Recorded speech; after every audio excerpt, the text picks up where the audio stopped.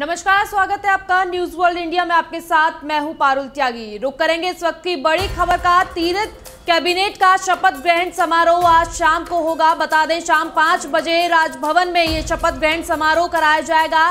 तीरथ सिंह रावत का पूरा मंत्रिमंडल बनाने की तैयारी में है। तीरथ सिंह रावत के मंत्रिमंडल में 11 मंत्री होंगे। बता दें, तीरथ सिंह रावत ने पूर्व सीएम को भी शिष्टाचार भेंट किया है। मुख्यमंत्री पद पर ताजपोशी के बाद तीरथ सिंह रावत मंत्रिमंडल के गठन की कवायद में जुट गए हैं। वो पार्टी के वरिष्ठ नेताओं के साथ मिलकर कैबिनेट मंत्रियों के नामों पर विचार कर सकते हैं। तीरथ सिंह रावत का पूरा मंत्रिमंडल बनाने की वो तैयारी में है और उनके मंत्रिमंडल में 11 मंत्री होंगे। मंत्रिमंडल का आज विस्तार किया जाएगा।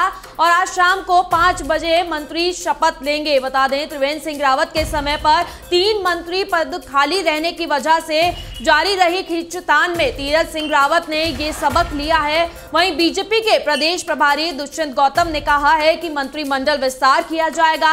जब हमें दिल्ली से नाम मिल जाएँगे, वो शपथ ले लेंगे। संसदीय बोर्ड पर इस पर चर्चा कर रहा है। साथ ही उन्होंने कहा कि हमें वो नाम भेजेंगे जिन्हें मंत्रिमंडल में शामिल किया जाएगा। तो आज शाम को राजभवन में पाँच बजे मंत्रिमंडल, मंत्री जो है वो शपथ लेंगे और आज मंत्रिमंडल का विस्तार तीरथ सिंह रावत सरकार का होगा।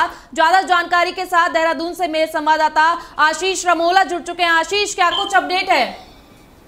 देखिए पारल जिस तरीके से बात करी जाए, उत्तराखंड में जो विधानसभा चुनाव में जो है वो ज़्यादा वक्त यहाँ पे नहीं बचा है। और बात करी जाए तो इससे पहले जो है बीजेपी प्रदेश की कोई गलती यहाँ पे नहीं करना चाहती।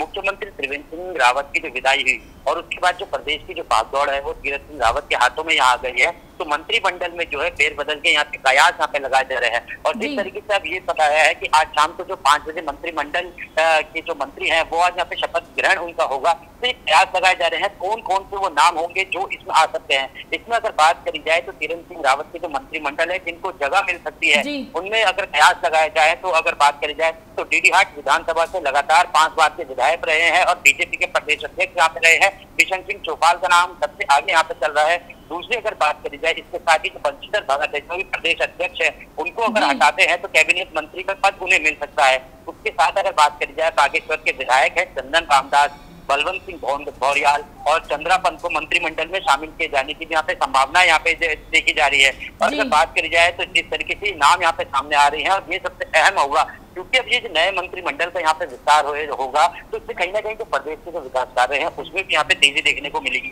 जिस तरीके से अब तक का जो चार पाँच दिन का जो घटनाक्रम यहाँ पे पूरा रहा है और जिस तरीके से अब जो नई भागदौड़ आई है वो तीरथ सिंह रावत हाथ में आई है। तो कहीं ना कहीं यहाँ पे जो देखा जाएगा मंत्रिमंडल का जो विस्तार यहाँ पे होने वाला है ये काफ़ी अहम यहाँ पे देखा जाएगा। इससे जो प्रदेश का जो विकास होगा उसमें काफ़ी तेज़ी देखने को मिलेगी। अब इसमें देखने वाली बात होगी क्योंकि अगर पहले की बात कर जाए तो तीन मंत्रिमंडल के जी लेकिन आशीष क्या कुछ उम्मीद जताई जा रही है? कितने नए मंत्री जो है वो शपथ ले सकते हैं? क्या कुछ अपडेट है इसको लेकर?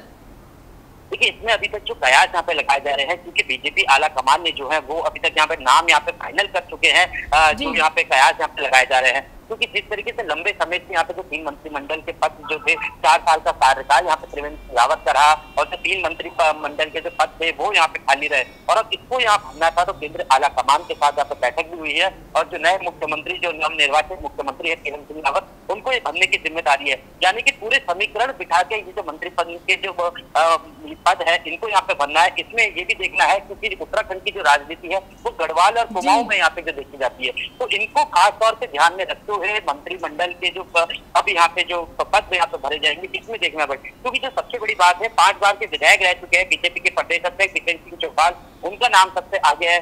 दूसरी अगर बात करी जाए, रितु खंडूरी जो है, वो पूर्व सीएम बीसी खंडूरी की बेटी है। और दूसरी अगर बात करी जाए, जो वर्तमान में मुख्यमंत्री है, तीरथ सिंह रावत, वो अपने राजनीतिक गुरु मानते हैं बीसी खंडूरी को। तो ये कयास यहाँ पे लगाए जा रहे हैं उनकी बेटी रितु खंडूरी को भी यहाँ पे जगह मिल सकती है। तो कई ऐसे नाम है वो आज शाम तक यहाँ पे जो है वो सामने आ जाएँगे। जब शाम को पाँच बजे जो है आज यहाँ पे मंत्री जो कैबिनेट मंत्री जो मंत्रिमंडल में जिनको आज जगह मिलेगी आज शपथ ग्रहण समारोह वहाँ पे रखा जाएगा। जो पूरी तस्वीर है वो आज शाम को खुल के सामने आशीष लेकिन इस शपथ समारोह में कौन कौन शामिल होने वाला है? क्या कुछ अपडेट है इसको लेकर आपके पास?